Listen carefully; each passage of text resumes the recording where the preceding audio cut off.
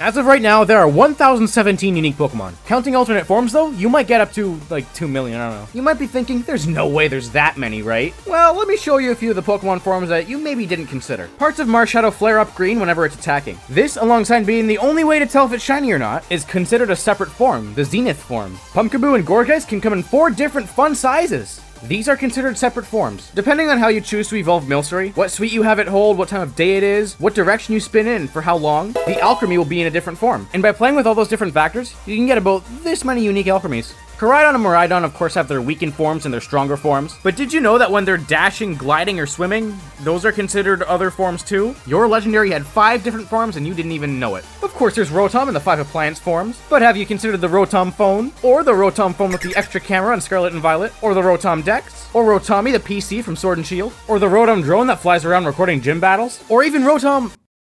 Who's responsible for this?